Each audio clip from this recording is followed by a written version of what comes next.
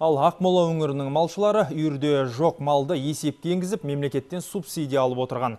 Прокурорлардың айтуынша мұндай келеңсіз жайт бір емес бірнеше ауданда тіркелген. Мысалы, Атбасар ауданының ауыл шаруашылық өнімін өндірушілері осындай заңсыз жолмен 9 миллион теңгеден астам қаржыны қалтаға басқан. Аталған қаражат асыл тұқымда мал шаруашылығын дамыту, малдың өнімділігі мен сапасын арттыру мақсатында бөлінген. Заң бойынша ақшаны аудармас бұрын ауданның ауыл шаруашылығы бөлімінің мамандары құжаттарда көрсетілген мал санын қорадағы малмен салыстырып, мұқият тексеріп алуға тиіс еді. Алайда олар бұл міндетіне немқұрайлы қарап, мемлекет қаржысының қолды болуына жол берген.